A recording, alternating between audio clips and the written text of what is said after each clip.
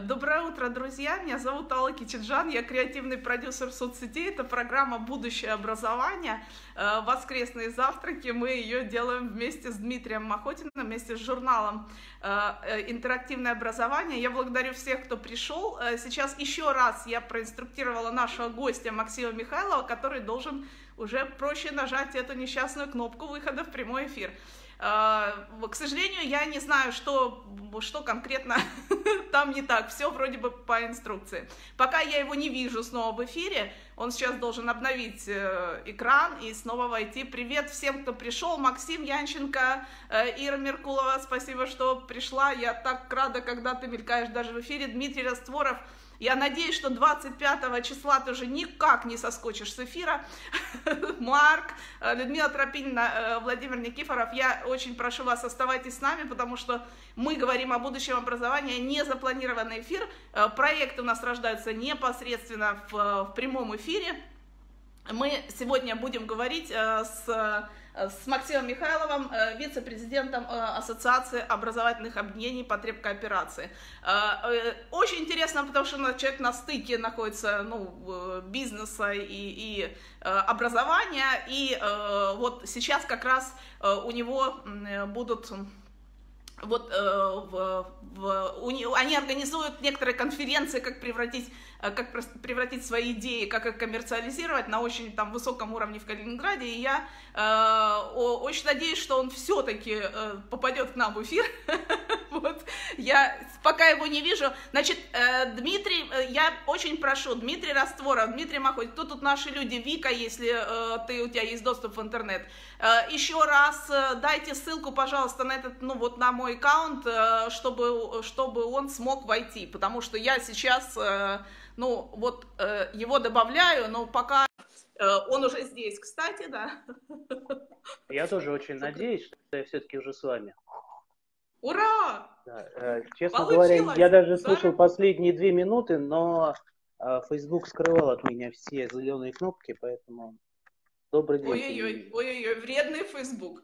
А, у вас, Э, Максим, э, плохо слышно. Э, вы скажите, пожалуйста, о, ура, все кричат, ура, все рады, мы же уже второй раз подключаемся. Ура, ура, вы меня слышите?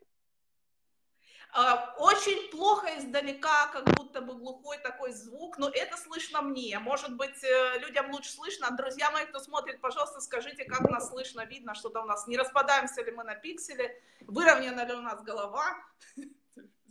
Ну, а, коллеги, я картинки. говорю, да. ставьте там плюсики ага. или что-то еще, мне не видно комментариев, слышно ли меня или нет.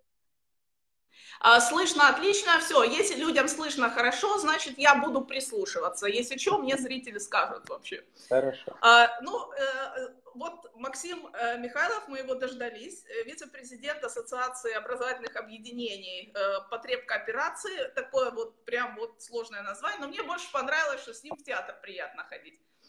А... Да, я вчера был. Какой спектакль? Я вчера, Смотри. не вчера, позавчера ходил на встречу с Костолевским. О, какая прелесть. А, ну, а почему не написали у себя в аккаунте? Я всем говорю, ну что ж такое, вы нас не просвещаете? Нет, смотрите, у нас есть э, э, среди друзей разделение ролей. Я выбираю, куда да. идти, а есть критики, которые пишут потом о спектаклях. Так что это вот не моя а, задача. Понятно, понятно. Хорошо, отлично. Я увидела, что вы проводите конференцию в Калининграде э, о том, как превратить, э, как коммерциализировать свои идеи. И, э, не, понимаете, вот у нас э, мы не хотим быть оторванными от жизни в этой программе нашей, да? Э, мы хотим, ну, все сейчас думают об одном и том же масса каких-то идей, они носятся в воздухе, там конкурируют между собой э, люди, э, пытаются их продвинуть, но когда, вот часто мне говорят специалисты, мы когда смотрим, там нет экономической базы. Вот. А, и мне интересно, какие идеи в будущем, на ваш взгляд, вот, вот вам кажутся перспективными? Вот сейчас, чем заниматься? Ну, очень простой, практичный вопрос, наверное, самый сложный. Чем вообще сейчас заниматься людям, которые хотят, э, чтобы их идеи принесли деньги, в конце концов, ну и заработали? Масштабно. Ну вот смотрите, давайте я буду отвечать на вопрос, но на самом деле буду отвечать не на него. Потому что а, мы не бизнес-консультанты. Да, а, та программа калининградская, в которой, которую я создавал и которая, слава богу, здравствует, там я сейчас в Москве. А, но Калининградская программа сразу, мы сразу заявляли, что мы предпринимательская магистратура. И, конечно же, нам тут же стали задавать вопросы, окей, где ваши стартапы, где ваши миллионы, где ваш список да. Forbes и тому подобное. А, куда приходить с идеями, где вы нам дадите денег. А, но, повторюсь, да. мы не бизнес-консультанты. А мы не берем чей-то проект и не... Наша задача не состоит в том, чтобы его коммерциализировать. Про конференцию поговорим отдельно. Наша задача а, помочь человеку и вот тут вот слово «много» сразу исчезнет. С идеями бегает много народу, а к действию приступает мало народу. Вот э, наша магистратура, в частности, и вообще э, те предпринимательские образовательные проекты, которые я делаю и в Москве, и в Татарстане, и в Калининграде, они делаются для того, чтобы помочь, прежде всего, молодым ребятам, хотя мы сейчас работаем со взрослыми, перейти от этапа у меня куча идей к этапу я начал что-то делать. А, и в этом смысле а, нам не очень важно, важно, делает ли он какие-то э, миллиардные операции или просто пошел и открыл маленькое кафе мороженое.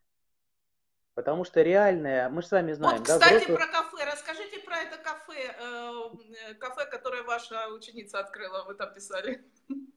Да, он мне, у меня есть э, э, а, отличная Крауслабер, студентка, но она уже даже, наверное, закончила. Да, она закончила в этом году. А, вот хороший пример того, что мы считаем на самом деле успехом. А, она директор компании, небольшая компания, там электромонтажные работы и вот все такое подобное.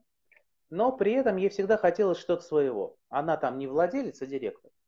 И вот в Крауслабе после наших там очередных э, краш-тестов, э, давайте посмотрим, какие идеи. Она сказала, мне надоело, я пошла делать, кто со мной? Честно скажу, с ней из наших пошел только один человек, тоже девчонка, которая помогла ей на старте. Но она пошла в торговый центр, сказала, я хочу открываться. И вот тут началось ее реальное обучение. Потому что она узнала, что такое получить в аренду помещение э, на проходном месте. Она поняла, что такое купил оборудование, нанял работника, а людей нет.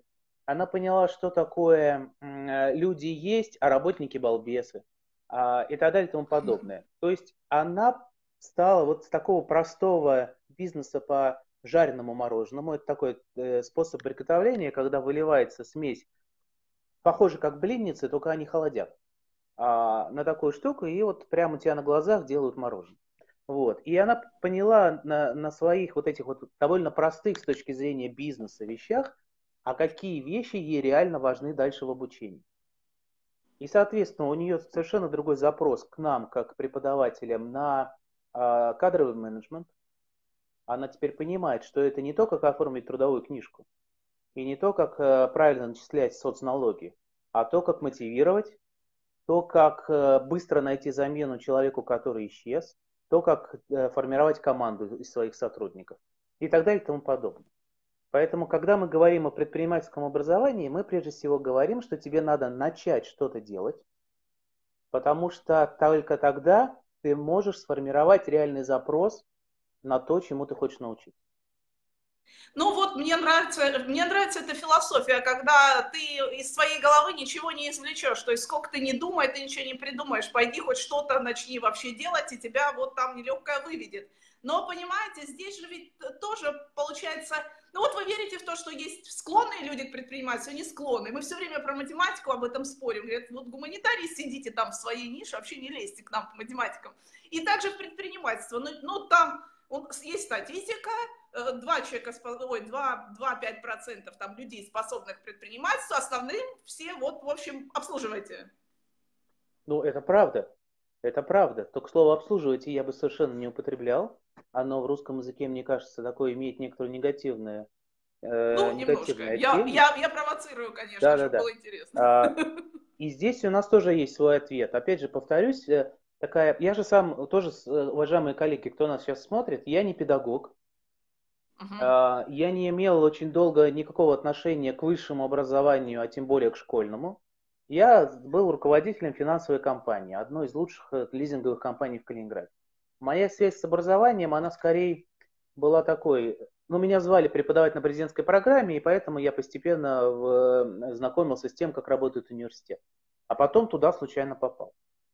Вот, так вот, и э, базовая наша программа Крауслаберская, Крауслаб, и там мы уже сформулировали этот принцип. Принцип этот следующий. Предпринимательство – это не про бизнес. Предпринимательство в том смысле, в котором мы им занимаемся, это даже не про то, что ты зарабатываешь деньги. Э, разница между предпринимательством и бизнесом. Предприниматель, он создает бизнес. Э, программы обучения бизнесу – это про то, как созданный бизнес эффективно развивать, эффективно им управлять. Вот здесь есть разница. Uh-huh. Потому что управлять тем, что создано, и создавать – это очень большие, большая разница.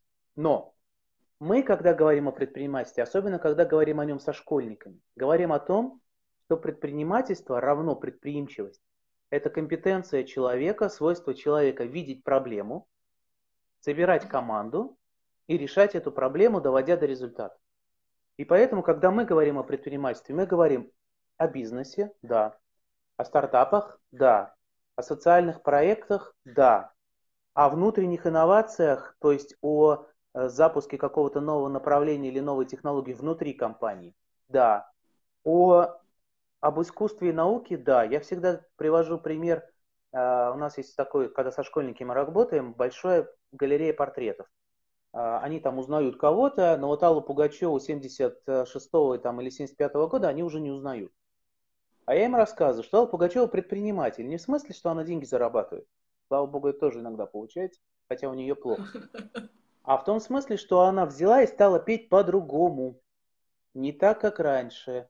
Это позволило ей совершенно себя поставить в другую нишу, создать новый То продукт есть... и стать лидером. То есть, собственно, креативность, вот эта способность э, создавать нечто новое, это главное качество предпринимательства, так я правильно Нет. вас понимаю? Нет, их Тогда три. Как? Три, и это очень важно.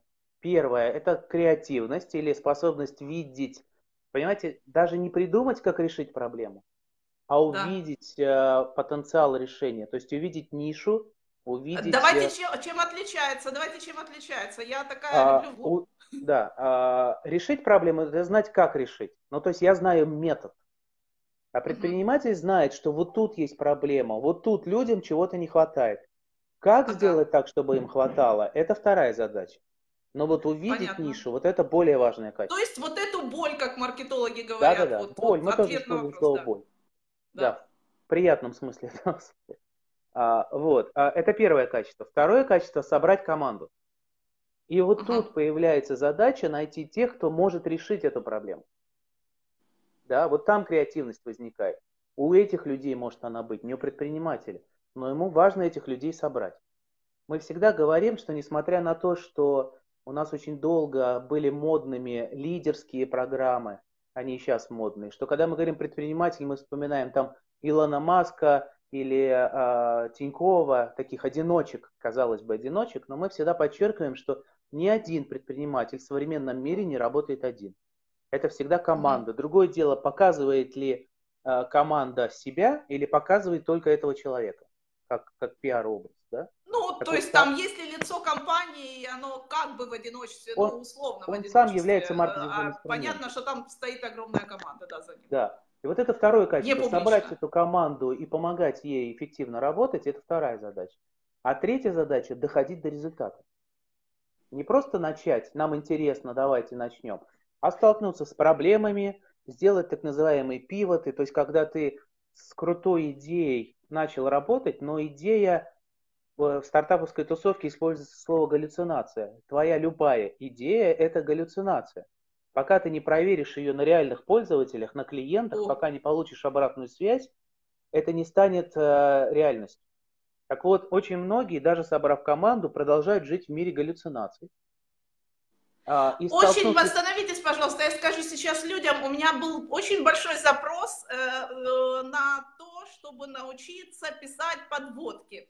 Так вот, я сейчас вот в ходе эфира сейчас скажу, что вот сейчас пока у нас подводка к фрагменту эфира очень классная, что пока вы не начали что-то делать, э, ваша идея – это галлюцинация. И такой, такой, и дальше это можно смотреть, это интригует. Спасибо, сори, что я в свою тему немножко ушла. Да, э, Но, тем не журналистская привычка это на себя тянуть одеяло. Э, да, Я и слушаю, вот да, третье дальше. качество важное – это, э, встретившись с реальностью, продолжить. Или принять решение не продолжать. Но принять решение не продолжать не в смысле бросить. Очень много идей, они несостоятельны, их не надо продолжать. Но вы должны да. провести рефлексию, почему, что, в чем ошибка в наших действиях, в идее, в рынке, и совершить э, термин, опять же, стартаповский пивот, то есть э, выйти на следующий цикл, когда проведя рефлексию, вы поняли, а какая ниша правильная, а какая технология правильная, но фактически создали новую галлюцинацию, которую начинаете проверять. И вот способность вот так двигаться – это предпринимательское качество. То есть, а, Смотрите, важно... вот я по поводу третьего качества, Максим, сори, по поводу третьего качества, как, на что ориентироваться? Понимаете, всегда это распадается на логику и так называемую интуицию. Мы не знаем, что это такое, тоже говорят логика какая-то особого вида, да? Но э, э, человек говорит, я чувствую, что не надо, но он может бросить за шаг до победы, на что опираться? Ну, как анализ этот проводить, чтобы он действительно был реалистичным? Но вы со мной сейчас опять как с бизнес-консультантом, да? А, одну вещь скажу. А, Предприниматель, э, успешность предпринимателя определяется не потому, сколько бизнесов он начал, а потому, сколько бизнесов у него закончилось и сколько раз он после этого начал опять. Вот это важно. Поэтому нет у меня точного ответа, логика или интуиция. Нет. Почему? Потому что ну, умный человек э, так хорошо э, обоснует свою интуицию, что, э, что не придерешься. Хотя это тоже галлюцинация в некотором смысле. Нет, главный ответ – это успех на рынке. Именно поэтому, вот здесь я немножко вернусь к образованию. Именно поэтому, и это была одна из самых сложных вещей, когда мы начинали Каруслаб, принципиальным нашим решением является то, что все, что делают студенты, угу. должно получать внешнюю проверку. То есть, если, а у нас студенты в магистратуре делают два типа проектов. Один проект по развитию, по получению новых знаний, то есть они берут какую-то тему, например, как должна развиваться блокчейн-экономика, да, и изучают это. Угу. Это способ индивидуализации образования. А каждый, кто учится в нашей магистратуре, он фактически выбирает сам себе профессию, направление, и через вот дополнительные исследовательские э, форматы он э, развивается в этом направлении вне зависимости от того, чему учим мы в магистратуре. А вторая вещь – это предпринимательский или социальный проект. Так вот, предпринимательский проект все просто. Ты должен продать. Если ты продал, рынок подтвердил, что это кому-то надо, значит, скорее ты успешен. Социальный проект, э, там мы не продаем, но мы, соответственно, привлекаем или э, там, благотворительные средства, смотря кто что делает, или просто внимание публики. Если на твое социальное предприятие пришло там 100 человек, 200, 300, значит оно более-менее успешно а, по сравнению с тем, что пришло 5 человек. Да? А если мы говорим об исследовательских вещах, то все, что ты изучаешь, должно быть, там у нас периодичность один месяц, три месяца, а, должно быть презентовано широкой публике в виде статьи, в виде там, интернет-сайта, в виде выступления на конференции, и должна быть получена обратная связь. Не внутри университета, а вовне. И вот это да. является единственным основанием признать, что то, что ты делал, не является галлюцинацией. Э, очень ясные критерии, редко кто вообще так может формулировать, э, и нам очень повезло с гостем. Сегодня я напоминаю, что Максим Михайлов, вице-президент э, Ассоциации образовательных образовательных объединений потреб кооперации у нас в гостях. И э, мы, мы э, сейчас, вот, кстати, Дмитрий Махотин сказал, вот этот эфир я точно застенографирую и выпишу оттуда цитаты, потому что у нас тут прям не эфиры, а афоризмы сплошные. Э, смотрите, друзья мои, мне хочется, чтобы вы задавали гостю вопросы. У меня вопрос вот э, какой. Э, все говорят о результате. И вот результат, результат. Вы вот как будто бы ясно описали, что является результатом. Но есть и другое мнение, что не нужно смотреть далеко. Э, процесс, это, как я люблю, по-моему, Опра Уинфри приводила этот пример, э, когда от вершины к вершине ты смотришь, здесь стоишь, следующее твое действие, ты можешь увидеть только ближайшую перспективу, и не надо ориентироваться на какой-то долгий результат. То есть это э, портит все. Вы как считаете? А, Сейчас я скажу, потому что мы немножко смешали процесс и результат все-таки. Мне кажется, когда mm-hmm. Опра говорила про э, вершину, она имела в виду результат. А, но в том mm-hmm. смысле, что ты не замахиваешься сразу стать президентом Российской Федерации, а ставишь более достижимые цели. Абсолютно верно. Ты не можешь не двигаться э, вперед, не ставя реалистичные, достигаемые в короткий период время э, цели. Но ты не можешь двигаться вперед, если ты не ставишь большую цель, потому что ты тогда не понимаешь, двигаешься ты вперед или в сторону. А мы решаем э, эту задачу следующим образом. Каждый наш магистрант а, создает свою индивидуальную траекторию развития, индивидуальный план, который выходит за пределы университета на 3, 4, 5 лет. Ну, то есть э, магистратура 2 года, значит, ты ставишь себе цель на ближайшие 4, 5, 6 лет. Ну, например, я хочу быть там финансовым директором э, какой-нибудь инновационной компании. А, вот такой образ будущего рисуется, mm-hmm. да, кто я в будущем. Хотя с некоторыми ребятами мы рисуем не только образ себя, но и образ той компании, в которой они хотят быть, или того социального проекта. А затем, и это м, такой принцип форсайтного мышления, когда ты проектируешь из будущего. Если я хочу быть через 6 лет тем-то, значит через 4 года я должен быть тем-то, значит через 2 года я должен быть тем-то, значит через год я должен быть тем-то. А теперь давайте поймем, что мы должны сделать сегодня, чтобы через год быть тем, кем мы запланировали. То есть вот а, одновременно длинное, длинное планирование с обязательным коротким планированием, но старт короткого планирования идет не от сегодня, а из будущего. Ну, то есть в, система маленьких шагов, да, мелких шагов. У нас есть здесь вопросы. Вот э, про школьные симуляторы Елена Тележинская спрашивает, э, как вы относитесь к симуляторам в бизнесе, которые используют в школах? А я, честно говоря, ничего о них не знаю. А, те игры, которые я видел, называются ли они симуляторами, я, честно говоря, не знаю. А, это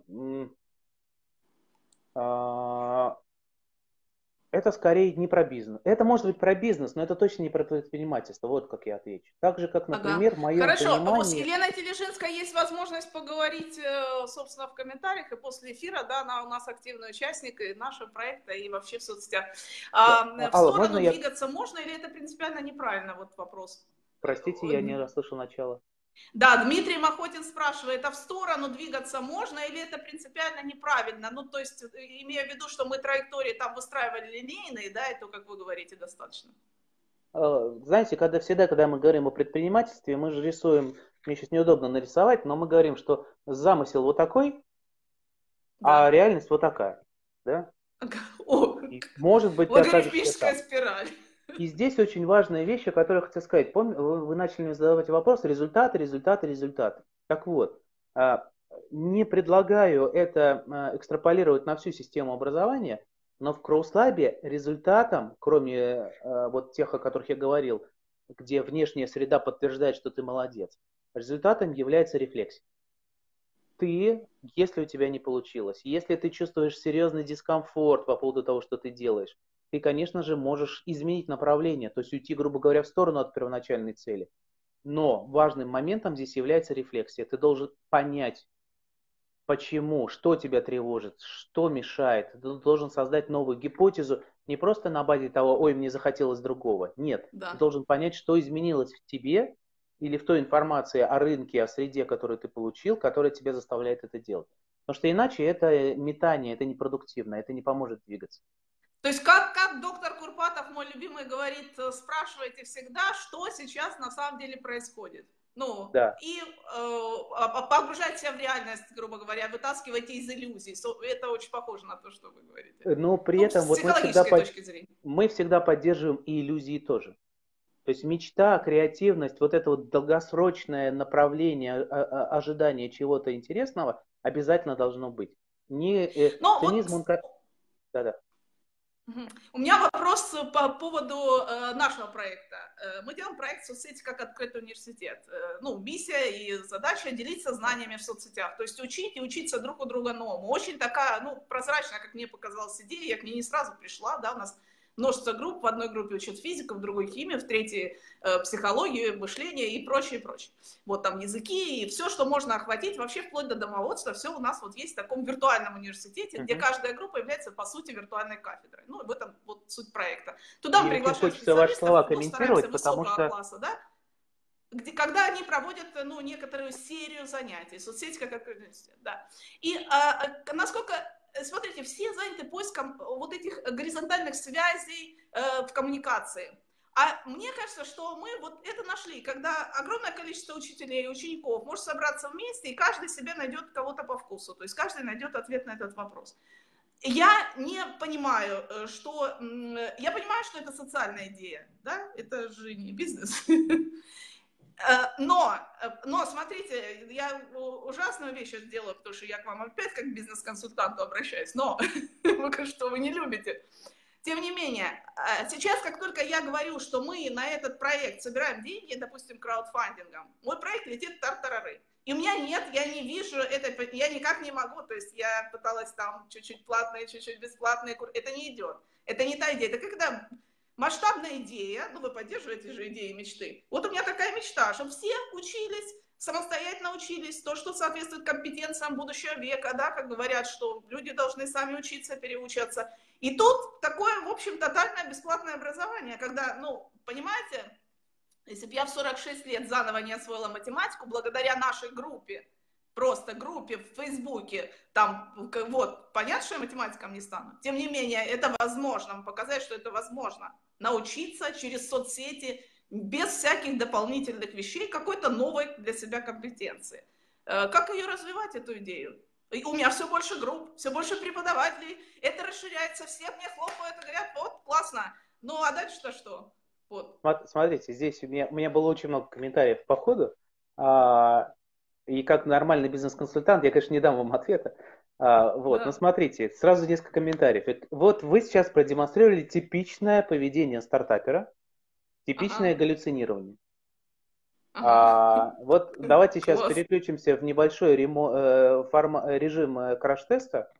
А, да. Конечно, я прежде чем начинать краш-тест обычно провожу некоторую психологическую подготовку, но вы человек опытный. И, кстати, а, только вчера опубликовали, ну, на днях опубликовали статистику, что самые успешные стартаперы это, конечно же, не сопливые 20-летние мальчишки и девчонки, да простят меня э, те, кто меня слушает, а люди, которые получили опыт работы 35, 40, 50 лет. А вот от 40 лет и там, до 55 это самые успешные стартаперы на самом деле по статистике. А почему? Потому что у них меньше галлюцинаций. А, так вот, а, но тем не менее, возвращаясь к, вашим галлюцинациям. Галлюцинациям. А, с, а с чего вы решили, что людям нужно обучение? Раз. А с чего вы решили, что люди доверяют бесплатному обучению? Два. А с чего вы решили, что люди смотрят ваши эфиры для того, чтобы чему-то научиться? Три. А, а с чего вы решили, что другие методы обучения, которые есть и для того, и для другого, и для третьего, менее эффективны, даже если они стоят? Вот каждую из ваших гипотез необходимо проверять. Например, и практика это в некоторых случаях показывает, взрослые люди очень часто не ставят перед собой цель научиться. Даже если они приходят учиться. Но когда ты спрашиваешь, а почему вы учитесь, или наблюдаешь за тем, в чем они реально участвуют, вдруг э, понимаешь, что они приходят не учиться, они приходят общаться. Вы же знаете, что на конференциях самое эффективное время это кофе-брейки. А, да, а, не, а не спикеры. Да. Люди приезжают на конференции общаться. Поэтому, когда мы участвуем в виртуальной конференции или смотрим трансляцию, наш отзыв к этой конференции, трансляцию конференции, наш отзыв к этой конференции намного слабее, чем если бы мы были там. Да? Поэтому возможно, возможно, что для некоторых, по крайней мере, вот как наша тема, наша же тема, чему я могу научить педагога? Или человека, который в образовании уже... Вот Дмитрия Махотина, чему я могу научить? Я, наоборот, у него учусь каждую неделю минимум. Да? Но я могу э, задавать вопросы, я могу высказывать гипотезы, и таким образом мы вместе создаем какое-то новое пространство. То есть в этом смысле общение важнее, но в этом общении мы учимся. Да? Поэтому так вас... смотрите, можно я чуть-чуть, ну, мне, конечно, хочется сразу вот оправдываться и все вам рассказать, но не, я не, буду этого делать. У меня есть одно единственное, ну, мне, как отвечать на вопросы, если на отвечать на вопросы напрямую, так как вы их задали, получится, что я должна вам что доказать то, что я не верблюд. Ну, вот я так вообще не умею. А, значит, вот вы Нет, сказали это общение. Значит, не... вообще главная, главная цель э, соцсетей, да, это общение, это коммуникация, да, там и как цели Цукерберга, значит, там to bring world closer together, да, это все то же самое, как то, что делаем мы. То есть мы собираем людей, у нас практически непрерывная онлайн-конференция, когда люди могут общаться, понимаете, у нас кофе-брейк непрерывный. И латентное обучение, латентное обучение, eduvent в том числе, да, обучение с развлечением, это главная фишка, на чем это держится. Наверное, я сейчас поняла, кстати, спасибо, что я немножко неправильно позиционирую то, что я говорю. Я какие-то вот эти шаблонные слова, да, да, да, да, кстати, очень, очень позитивно э, наш разговор, э, ну, полезный. Э, я говорю учеба, я говорю то, что, в общем, скучно и, и, и не соответствует на самом деле тому, что происходит, потому что мы же приходим, и там 150 комментариев, и все друг другу задают как раз вопросы, коммуницируют. А, да, а вот смотрите, а, а вот сейчас вы стали, а, перейдя с а, традиционного объяснения своего продукта, вы на самом деле перешли к, к тому продукту, который может, может быть, может продаваться. 150 комментариев, там 150 комментариев каждому посту. Вот конкретная информация для рекламодателя. Mm-hmm. Да? А, постоянное общение. Это конкретная информация для краудфандинга. Не мы учим чему-то, да много народу учит. Да. А мы общаемся. И это платформа для общения. Вот туда, да? Это э, да, если классно, вы классно. подробно... Так я про... говорю, что у нас коммуникация главная, а потом говорю, у нас учеба. Я сама себе вроде бы как сама себе все порчу. Ну, как вот. обычно. А, а, а, а есть еще одна важная вещь, для меня важная. А, но, да. может быть, это связано с тем, что я не математик и не физик. А, с математиками, вот конкретно с математиками, я на эту тему неоднократно дискутировал. Угу. Вы говорите, у нас здесь такая Приходите группа... в группу «Математика великая ужасная», у нас там 11 тысяч участников, подискутировать есть с кем. Вот, вот смотрите, там 11 тысяч участников, а здесь? Сколько у нас сейчас эфир смотрит? Не 11 же тысяч, правильно? Вот да. одна из самых важных вещей, которые мы пытались сделать в Кроуслабе, перемешать аудиторию. Они традиционно уже разделены на секты, на дисциплины, на мы учились в одном вузе и так далее, там, на города. А вот наша задача и внутри одного города, и когда мы выходим во всероссийские масштабы, стараться перемешивать. Это требует от каждого, кто участвует в перемешивании, освоения немножко другого языка. Потому что, конечно, математик, э, когда я с ними разговариваю, э, по крайней мере, с той группой, с которой я общаюсь, а, это вообще, на мой взгляд, при всем их романтизме ужасно циничные люди, которые, а, с которыми очень сложно мне лично обсуждать социальные проекты. Потому что у них есть ответ всегда один, и этот ответ, к сожалению, сводится к тому, что и начинать не стоит. Вот, ну, повторюсь, Слушайте, это моя узкая группа. Максим, подождите секунду, подождите секунду. Я не оправдываю математику. У нас, мы написали с профессором Нелли Литвак книгу «Математика для безнадежных гуманитариев», она скоро выйдет. И у нас как да, раз да, смысл да, в том, я... что мы смешали гуманитариев и математиков. Э, мы не учим математики. Мы э, э, сначала сказали, мы научим гуманитариев с нуля, но получилось, что это все превратилось в коммуникацию, в свободное общение, да, и а, кстати, есть, вы говорите, что у меня это процесс идей сумасшедших пошел. Я видела у вас, э, что вы помогаете получать гранты, да, ну и вы учите там как вот какой-то, я видела объявление, что сейчас тоже конференция, где-то вы там участвуете, про гранты, да? Так вот, э, например, Стивен Строгац, э, который написал тоже, попытался до широкой публики донести, что математика это не то, что они думают, а от икса можно получать удовольствие, да, книга так и называется, он профессор, профессор Стэнфордского, по-моему, университета, я могу путать сейчас. А, вот, но э, он, э, он как бы опустился да, до коммуникации с простыми смертными. Но когда он написал, он получил грант на 2 миллиона, 2 миллиона долларов, там даже с хвостиком, на то, чтобы обучить коммуникации математиков. Вот давайте с вами сделаем такой грант и будем учить в русскоязычном сегменте коммуникации математиков. Вот смотрите, прям вот это проект. А, Давайте так, я а, об этом подумаю и, возможно, подберу вам другую кандидатуру в команду, потому что лично мой опыт коммуникации был не очень успешным. А, ну, Ну так их вот, так их как раз учат, да, их как раз учат коммуникациям, чтобы тут, они тут как и раз они меня стали не научили не на своем нормальной птичьем языке говорить, да, с, Тут с очень важно, это двусторонний процесс, двусторонний. Да. Здесь и, и математики должны учить нас коммуникации. Да, и, кстати, там, а, а, ну, слава богу, у меня была неплохая логическая школа в университете, профессора Да. Брюшинкина, в- ну, я из Калининграда, Балтийский федеральный, Кант, и поэтому там логическая и философская школа была вполне мощная, но когда математики смело говорят, что вас же никого логики не учили, и при этом нарушают логические законы, а, не нарушая математические, вот там вот все сложно. Я к тому, что и нам тоже, нам, не математикам, гуманитариям, надо учить их язык. И, э, вот- Да. и- и вот книга, которую вы упомянули, что математика для гуманитариев, вот, вот Да. это вот, э, если мы говорим о новых продуктах, о новых рынках, вот это вот очень перспективная вещь, потому что... Мы написали такую книгу, она сейчас выйдет в ближайший месяц в издательстве АСТ. Э, Конечно, профессор математики э, из Голландии Нелли Твак, мой соавтор, в шоке. Она никогда не предполагала, что она может журналистам написать какую-то книгу. Она с математиками это делала всегда. И тут появилась я в 46 лет, говорю, математики меня научи. Ну, она пожала плечами, ну и говорит, ну рисуй тут вот, рисуй на песке. Вот как я была на пляже, так я и начала там учиться математике, это к развлечению, к моменту того, что э, если бы мне, меня посадили за парту, да, куда-то и сказали учись, я бы, в общем, наверное, возмутилась. А на пляже, ну ничего, там, правда, солнце было палящее, когда люди подходили ко мне и говорят, слушайте, э, вам может шляпу или простынкой вас накинуть, потому что это ненормально, вы сидите и чертите что-то там, интегралы, просто пятый час и под палящим солнцем. Да. И вот смотрите, вы же сказали сейчас очень важную вещь для современного образования. Образование происходит везде.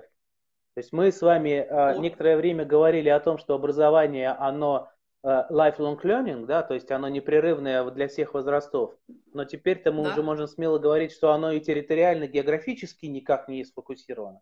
Учиться можно везде, всему, учит вообще все. То есть мы вот, э, а, а, и, и- и поэтому вот я, э, я- любой калининградец всегда вам переведет любой разговор на Калининград. А Я, как Мгм. калининградский крауслабер, переведу вам еще и на крауслаб. Почему? Потому что вот одна из наших э, задач, э, в том числе протестировать, а какие новые роли у преподавателя должны быть.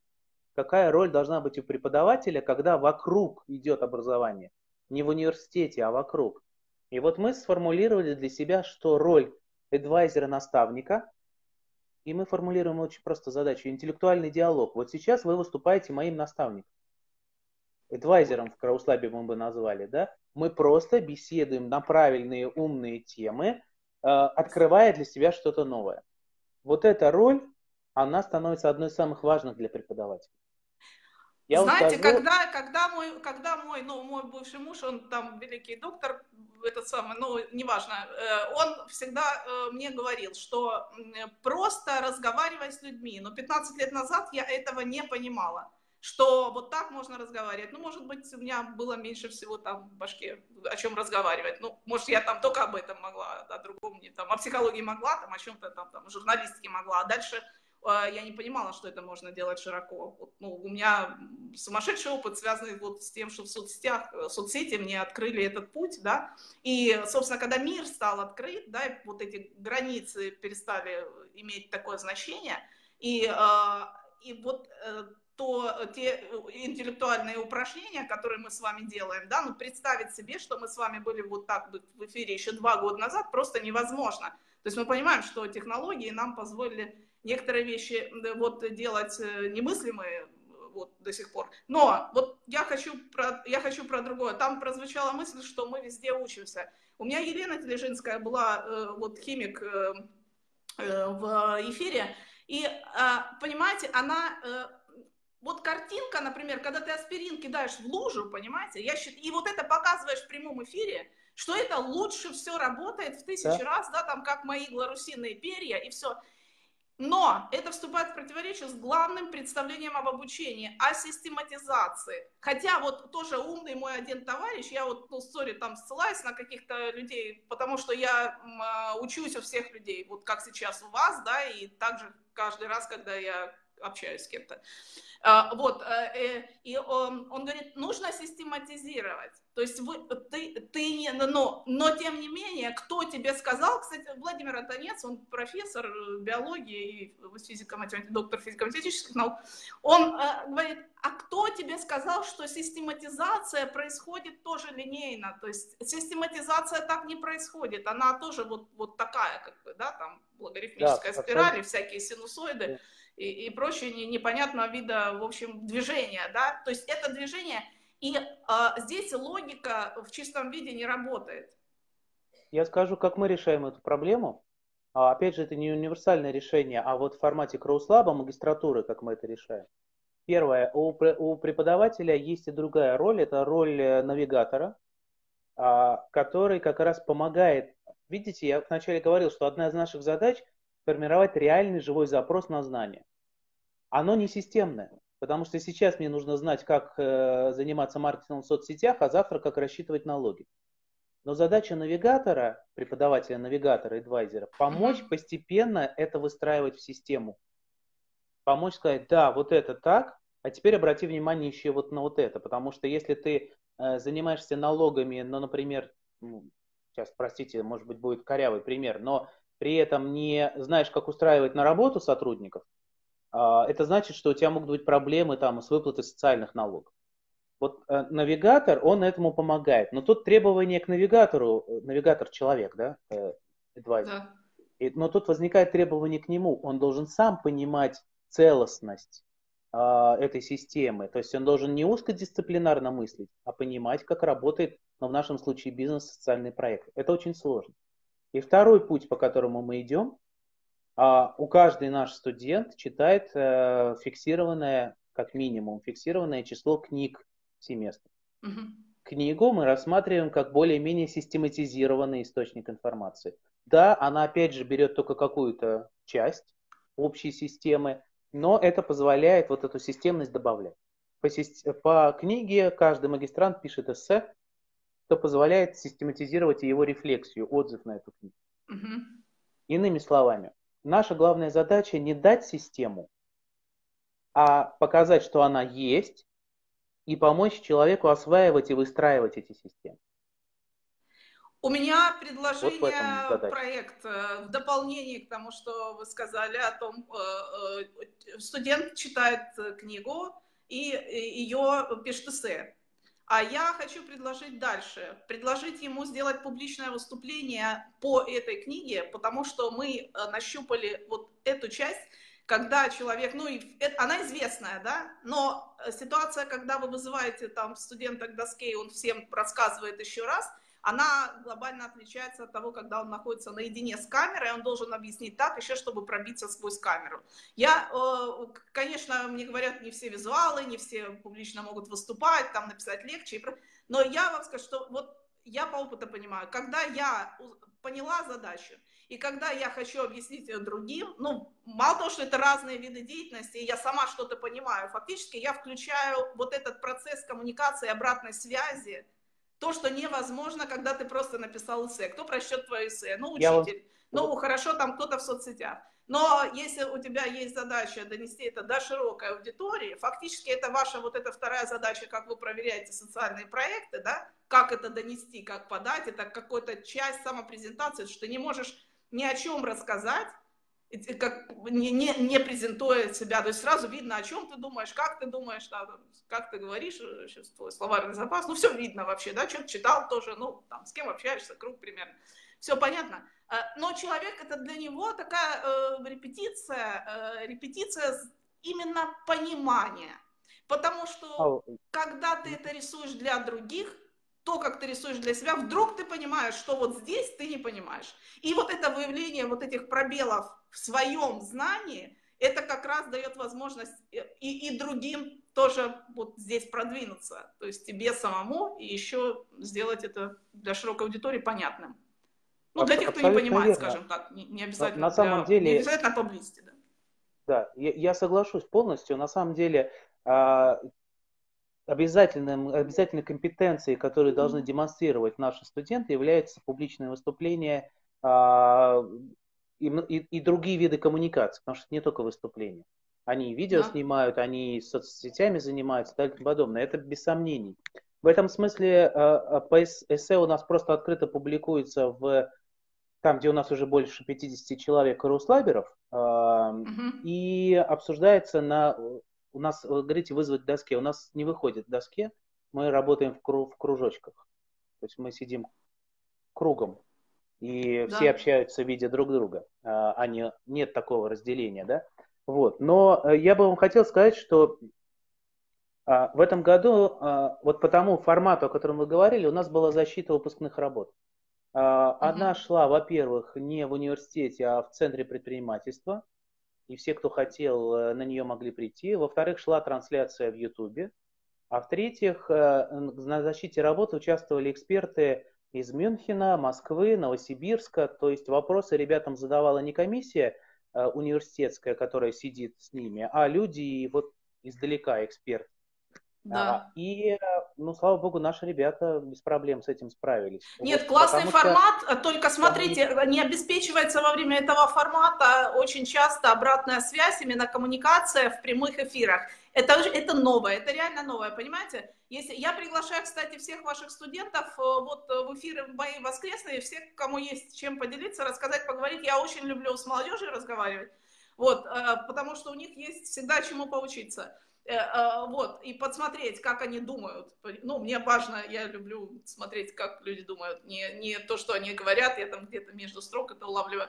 А, и, может быть, я надеюсь, наши зрители, кто смотрит нас, тоже это тоже что-то для себя улавливает. Мне бы очень хотелось, чтобы вы написали, что вы вынесли, понимаете, а что вы вынесли, написать очень просто, используя э, журналистский прием, э, какой маленький короткий отрывок из этого эфира вы бы вырезали и крутили бы его дальше, чтобы люди шерили это, делились. Это тоже, ну, так, это мастер-класс вам одновременно к тому, что, как мы параллельно идем. Да, но, эм, понимаете, эм, с, я хочу вернуться, э, я хочу вернуться к стартапам. Вот студенты, которые, ну, все же люди ищут, люди ищут нишу э, э, и предлагают что-то. Говорят, сейчас делайте стартапы только про нейроинтерфейсы. Все остальное, в общем, фигня. Там все ниши заняты, вот это перспективно, да, это там технологии будущего, вот думайте только сюда. Это какая-то вот тотальное явление, то, что я наблюдаю, да, причем, ну, тоже огромное количество лабораторий инновационных, да, там школ, которые вот э, и объявляют, давайте там э, стрелку запустим на Луну очередную, там еще что-то сделаем такое невообразимое, да, и все это как бы, ну или сразу там мозг отправим отдельно от нас. Ну, в общем, какой-то что-то, какие-то фантазии, но связанные все вот с, с этим, с всеобщим помешательством на том, что сейчас нас мозг спасет, э, мы так, как только в него там электроды подключим, прямо напрямую к компьютеру, так и наступит всеобщее счастье и благоденствие. Угу.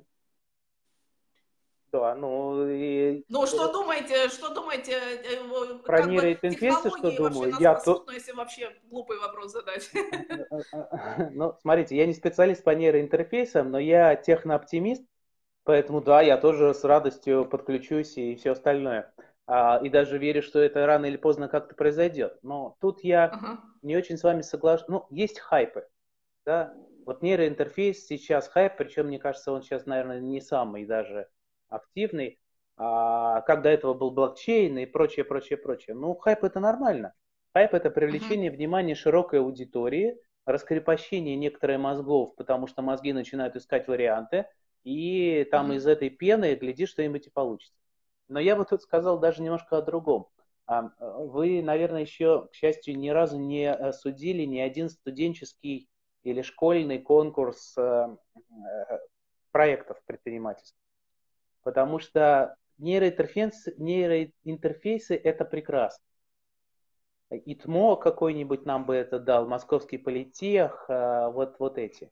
А когда ты судишь обычных студентов, которых 90% в стране, то у нас с вами всегда вегетарианское кафе, а, а, какая-нибудь новая социальная сеть, а, конкурент контакту и прочие галлюцинации. Вот это всегда. И проблема состоит в том, что ребята даже с этими довольно простыми проектами не двигаются дальше. И не вот делают ничего, вот, не начинают не делать, делают. да? И в этом смысле я понимаю, почему нейроинтерфейсы интересны. Потому что технология не позволяет моментально что-то делать, и ты можешь находиться в этой галлюцинации долго. А mm-hmm. когда этим занимаются а, э, биологи вместе с, с инженерами и вместе там, я не знаю, кто еще у нас занимается нейроинтерфейсами, да, а они хотя бы, им интересно это с технологической точки зрения. И там могут быть прорывы, конечно. А когда в, этот, в эту тему лезут уже все подряд, в том числе ребята, которые не имеют никакого представления о, о биологии, о физиологии человека, то это хайп, это такой, это, это галлюцинация, это возможность быть в тусовке, но при этом ничего не делать, к сожалению. У нас, правда, у нас э, была такая ситуация с блокчейном в CrossLab. Сразу несколько команд занялись этим делом.